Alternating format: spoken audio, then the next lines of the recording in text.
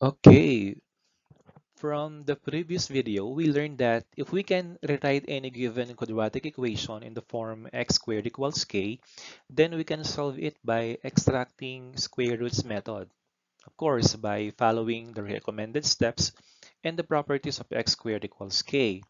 In this video, pag-uusapan naman natin how to solve quadratic equation when k is not a perfect square number. Let's have the first example. We have x squared minus 50 equals 0. Naalala yung mga steps, yung mga recommended steps. Okay, first step is to rewrite the given quadratic equation in the form x squared equals 50. Madali lang yun. Ihiwalay mo lang yung quadratic term. So, we'll have here x squared equals 50. Pagkatapos nun, check mo lang kung yung coefficient ni x squared ng quadratic term ay 1. Kapag 1 na yan, pwede ka na mag-proceed sa step 2. Ngayon, kung hindi yan 1, you have to divide both sides by that number. Next step is to extract the square roots of both sides. To do that, kailangan mo maglagay ng square root symbols on both sides. Then simplify. What is the square root of x squared? Answer is simply x because the exponent 2 there and the radical symbol will be cancelled out. Next, on the right side, we have the square root of 50. What is the square root of 50? Of course, it is not a perfect square number, pero ang alam lang natin, ang sigurado tayo ay magkakaroon niya ng dalawang, dalawang roots. No? And those roots are opposites of each other. We'll have positive or negative.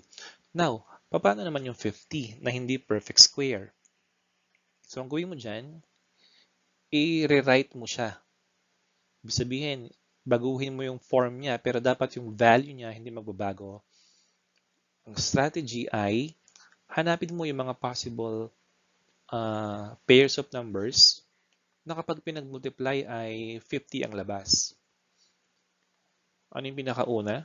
Pinakamababa? Siyempre, 1 times 50. 1 and 50 makes 50 when multiplied. Another. Ano pa yung dalawang numbers na kapag pinag-multiply ay 50 ang labas? Ayan, we have 2 and 25. Meron pa? Okay, meron pa.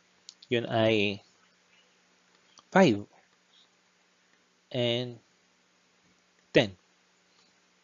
Bukod sa tatlong pairs na to, meron pa bang iba? Wala na.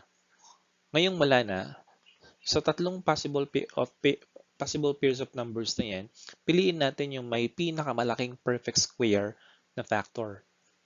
Ano ba yung mga perfect square numbers dyan? Meron tayong 1, and 25. Mas malaki ang 25, kaya pipiliin natin sa 25. Ibig sabihin, ang magiging factored form ni 50 ay 2 and 25.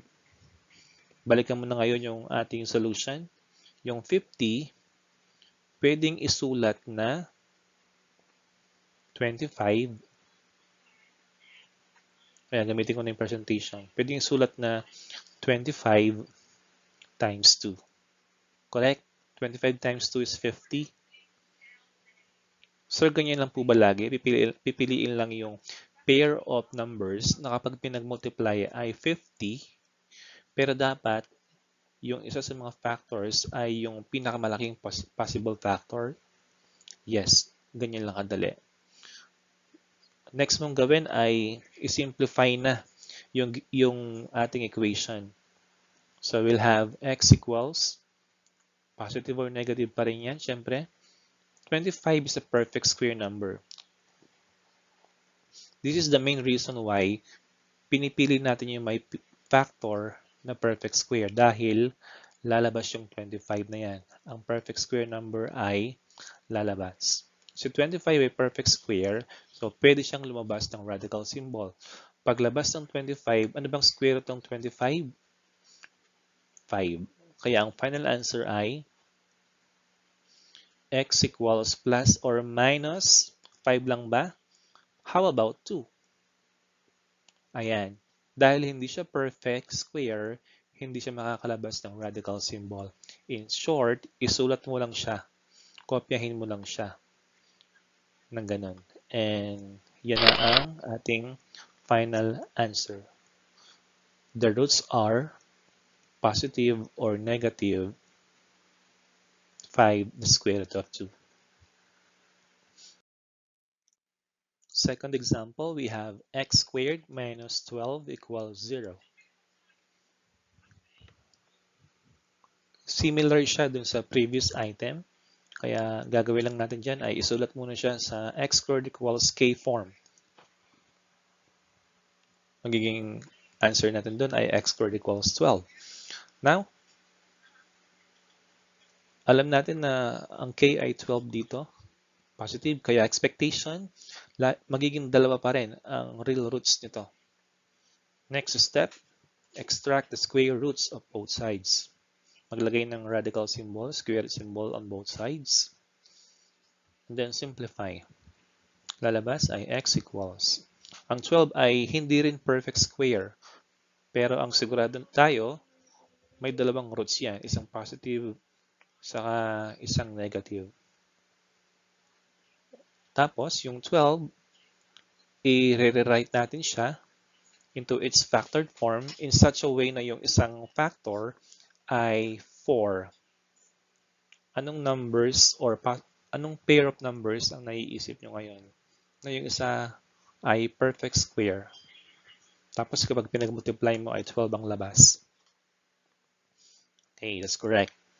It is 4 times 3. Make sure na yung isa sa mga factors na isusulat dito ay perfect palagi. Kasi on our next step, on our next line, lalabas yung perfect square.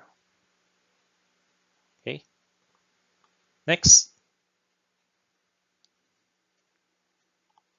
Ilalabas na natin yung perfect square number na 4. Paglabas niya, 2 na lang. Ano mangyayari sa 3? Ayan, kokopyahin lang natin. Final answer, x equals positive or negative 2 the square root of 3. Paano naman malaman na final answer na? Yung radicand, yung nasa loob ng radical symbol, wala ng ibang perfect square number na factor bukod sa 1. Ganun lang ang check point natin. Next, we have 2x squared minus 96 equals 0. Gawin siyang x squared equals k form. Kaya lilipat si negative 96 magiging positive 96. Next, yung coefficient ng x squared ay 2. Bawal pa rin yan. Kaya we have to divide both sides by that number, which is 2. Cancel, cancel. We'll have x squared equals 48. Ayan, k is positive. Still, we are expected to have two real roots. Now, next step, extract the square roots of both sides. Cancel, cancel. We'll have x equals positive or negative. What two numbers when multiplied gives 48? Such that one of those factors is a perfect square number. Meron ba? Bukod sa 1 and 48, meron pa? Okay, meron pa. Kapag wala na, yan yung final answer. Kukopihin na lang natin. Meron pa ba? Ayan, meron pa. And those are 16 and 3. Correct? Okay. Pwede po ba ang 4? Pwede naman ang 4 kaso mag, medyo magtatagal ka. So, pipiliin lagi natin yung may pinakamalaking perfect square factor. So, lalabas siya lalabas ang 16, magiging 4 na lang. Kaya ang final answer natin ay x equals positive or negative 4 the square root of 3. Next example is already written in the form x squared equals k. Kaya ang gagawin lang natin ay maglalagay na tayo ng square root symbol on both sides. Cancel, cancel. We'll have x there equals positive or negative. Okay, same step. Meron bang numbers? Dalawang numbers na kapag pinag-multiply ay 14 ang labas, pero dapat yung isa sa mga numbers ay perfect square. Meron pa? wala na. So, since wala na, kokopy lang natin yan. Kaya ang answers ay x equals positive or negative 14. Positive or negative the square root of 14. Bakit dalawa pa rin? Dahil si k ay positive. Diba? Properties of x squared equals k. Okay, that's all. Thank you.